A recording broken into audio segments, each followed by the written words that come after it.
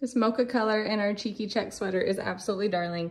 It is really just like pretty neutral, tone on tone. Just paired it with some white pants to really brighten it up for the spring, summer months, but you could pair this one with denim or black for a really like fun winter style.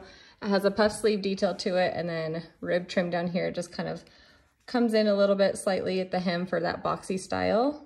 This one is a size small that I have on. There's plenty of stretch to it and plenty of room. So I'd stay true to size as you're ordering it.